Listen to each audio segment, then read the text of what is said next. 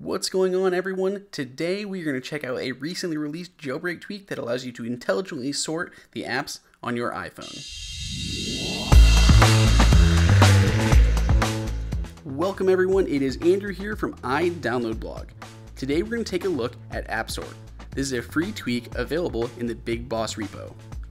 Using an activator gesture, you can sort your apps right on your home screen. Once you have AppSort and Activator installed, all you have to do is perform that gesture, like triple clicking the home button. In this case, I'm going to choose usage, and it will now sort by the ones I use most, like the settings app, to the ones I use least, like wallet.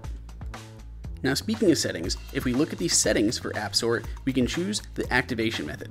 All these are pulled in from Activator and we have many different options including stuff for the sleep button, power button, home button, and many, many more.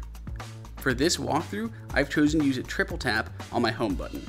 With that gesture, it makes it very easy to switch your sort order. So if you don't want to sort by most used, you can then easily switch by using your gesture and then switching to alphabetical to find something easier. You have many options by default, but if you're looking to really get in there and customize it, going into the settings, there's a handy help document that'll walk you through the process. All the sorting is being done via Lua scripts, and the guide will walk you through creating and installing your own sorting methods.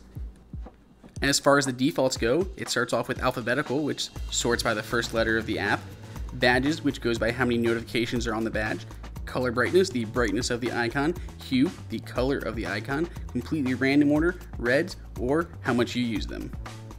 So let me know guys down in the comments what you guys think of AppSort. This is a free utility available in the BigBoss repo on Cydia. Otherwise, please subscribe so you guys can get more videos in the future. And this has been Andrew for iDownloadBlog.